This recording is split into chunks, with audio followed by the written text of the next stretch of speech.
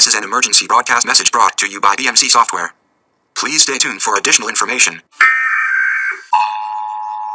Today, businesses and governmental agencies are under a constant barrage of security threats that are ever more increasing in frequency and consistency. Hi, I'm Chris Crawford, and today I'm going to walk you through how BMC software addresses security risks due to the gap between security and operations. We call this gap the SecOps gap.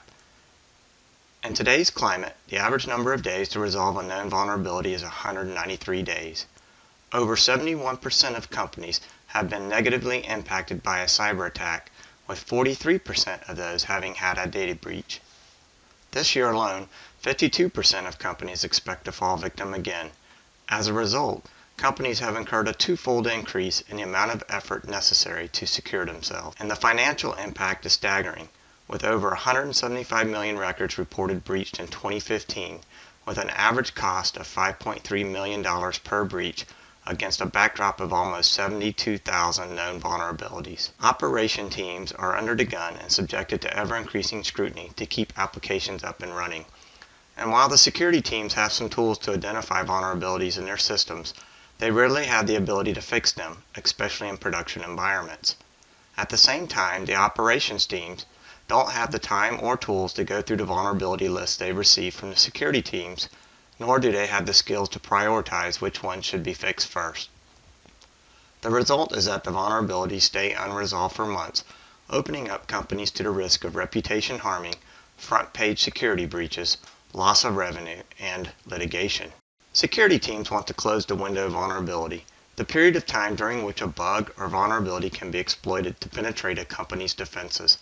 By deploying patches and fixes as quickly as possible, they are very aware of how long it takes to make these changes and vice versa, of how quickly attackers can move to exploit a new weakness.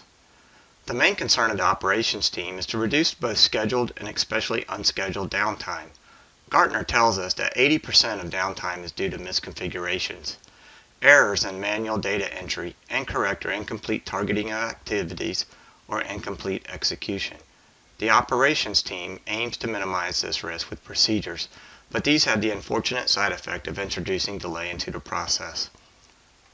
BladeLogic Server Automation is the only solution that delivers all the capabilities required to manage the SecOps problem by introducing a standardized process to identify, remediate, and track vulnerabilities to automatically and rapidly address security issues. The end result is a more productive IT organization that can focus on driving more value for the business. Let's log in.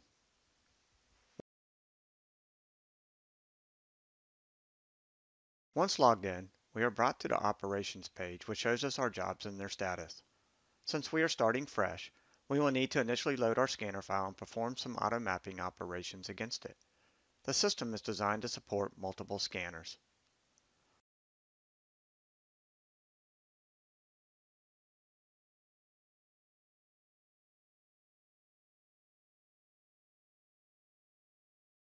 Auto mapping maps vulnerabilities to available patch and configuration packages.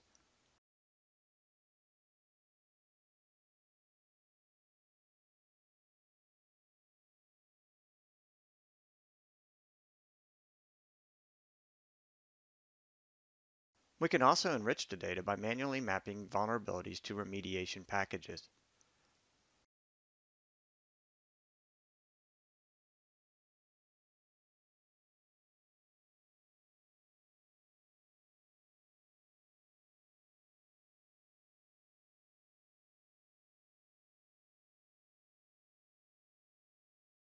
The mapping we apply here will persist across subsequent scans.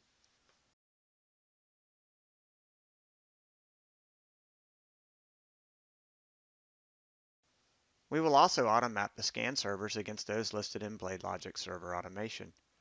Those assets that we are unable to match against should be carefully reviewed since they could be virtual machines that someone has spun up outside normal controls.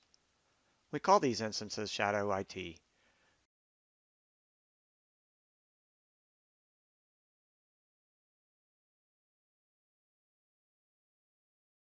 The scanned asset could also be a proxy server, whereby we can then easily map it to one or more assets under control.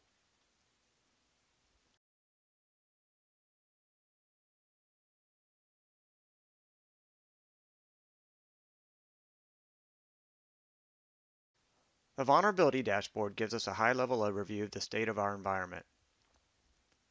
From this page, we can filter through the results and, if necessary, view the details of the vulnerability and the remediations available. You can also select from multiple scan imports for trending your results over time. Let's go ahead and remediate the vulnerabilities we do have using the Vulnerability Management Remediation Wizard.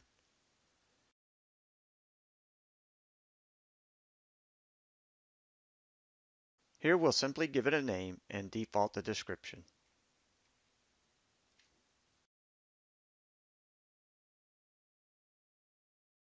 Here you get the same screen you had on the dashboard with the mapped asset details which is a line item of every system and every vulnerability that goes into it. But now you have the ability to edit this and remove specific things that you do not want to fix.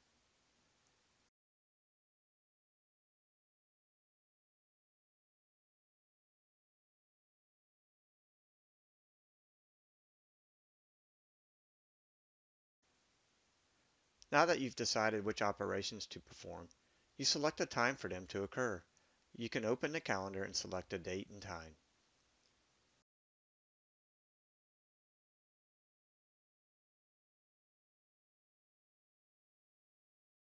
We also have some options for enriching the change request.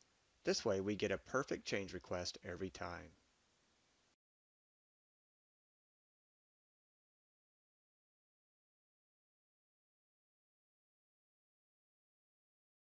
We can also specify notifications for these systems so if something happens to the operation or the job, it notifies you. Now back to your operations page. Here you can see the operations that were just created for you. They are scheduled to go through the approval process and then run on the date you specified earlier. At this point, your part in the SecOps process is done. The jobs will be approved, tracked, and executed automatically and the vulnerabilities fixed.